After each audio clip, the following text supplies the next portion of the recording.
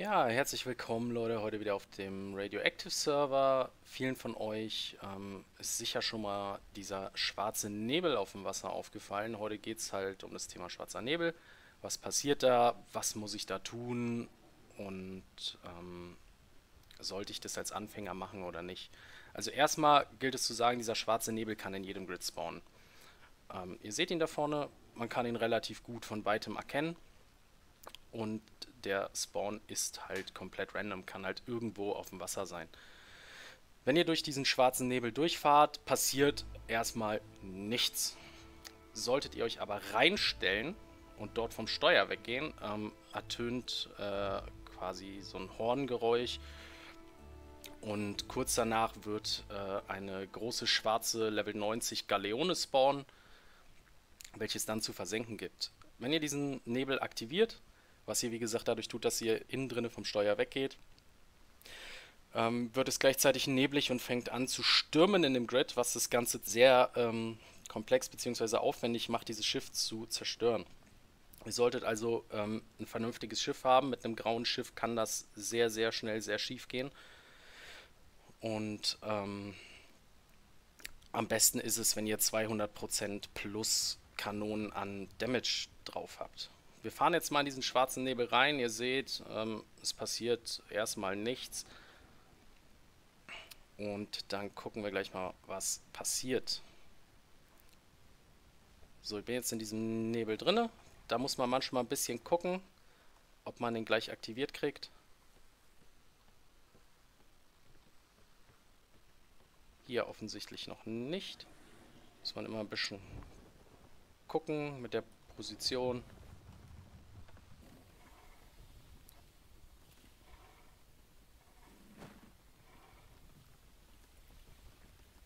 Ja, mal gucken. Ihr seht da diese leuchtende Kugel schon. Müssen wir noch kurz den richtigen Punkt finden.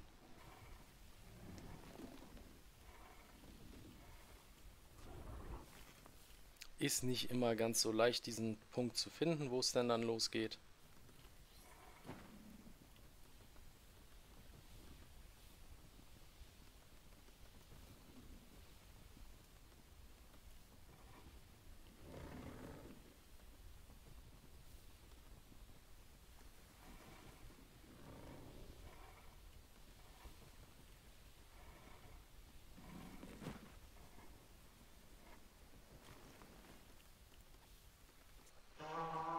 So, da haben wir den Punkt gefunden.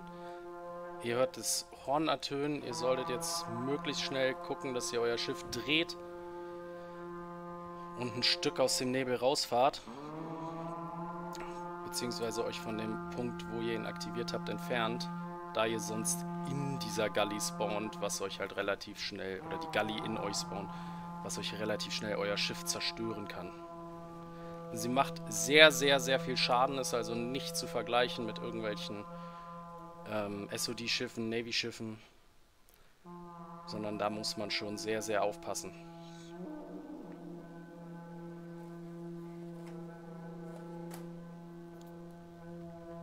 So, ihr werdet gleich sehen, dass es anfängt zu stürmen und dass äh, der Nebel sich über das komplette Grid ausbreitet.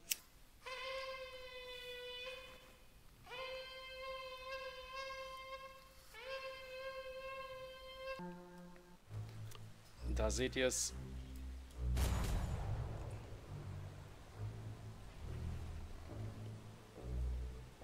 So, ihr seht, es hat angefangen zu stürmen. Es wird sehr, sehr neblig.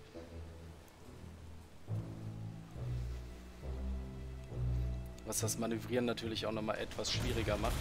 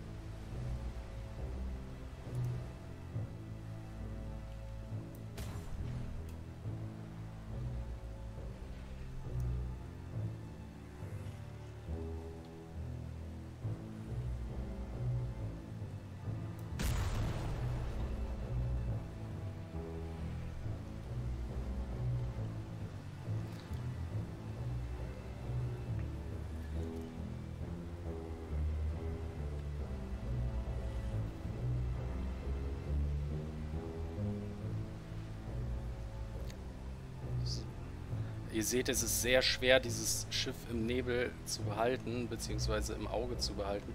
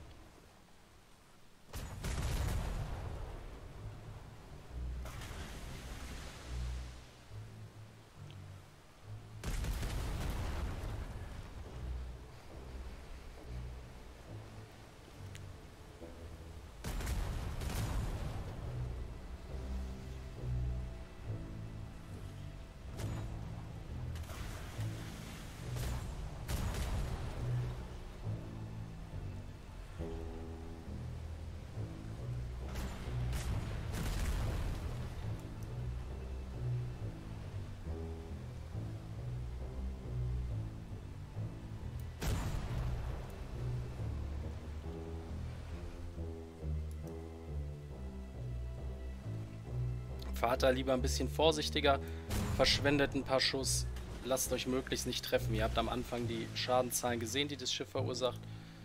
Und diese sind nicht zu verachten.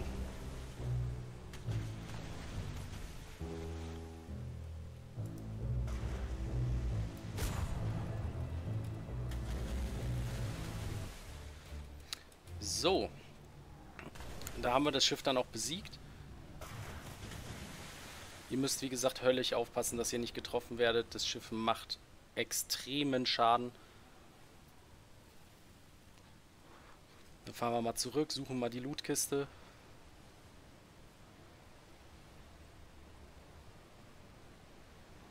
Die müsste hier irgendwo sein.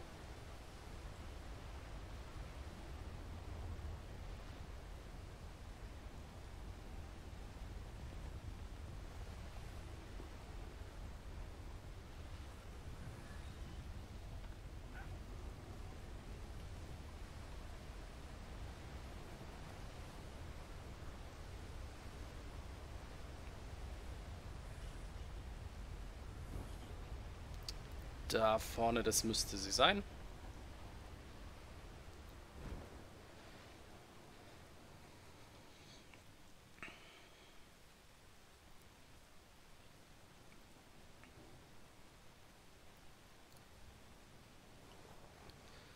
So, abgesehen von natürlich ähm, gutem Loot, droppt dieser auch noch vernünftige NPCs. Ihr seht es hier, 193er kriegen wir raus. Haben dann noch die Kiste, looten diese und das war's dann eigentlich auch mit dem schwarzen Nebel. Ihr seht, der schwarze Nebel kann diese Feeder of the Angels droppen. Das ist die Feder, die ihr zwangsweise benötigt, um den Kraken 3 zu spawnen. Und für mehr wird die auch derweil nicht gebraucht. Ich hoffe, ich konnte euch zeigen, was euch dort erwartet. Bereitet euch gut vor wünsche euch viel Glück bei eurem ersten schwarzen Nebel oder bei euren nächsten schwarzen Nebeln. Und bis zum nächsten Mal. Ciao, ciao vom Radioactive Server.